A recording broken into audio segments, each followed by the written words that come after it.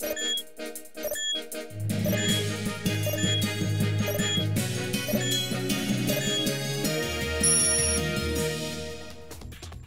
Muy pronto el canal 44 podrá sintonizarse a través de señal satelital de televisión, anunció esta tarde Gabriel Torres Espinosa, director de la operadora de televisión abierta. El canal de la universidad se va a incluir en un sistema satelital que va a estar bueno, presente no solamente aquí, sino a nivel de la República. Todos los sistemas satelitales de Nextel van a tener en el 44 el canal eh, de manufactura universitaria.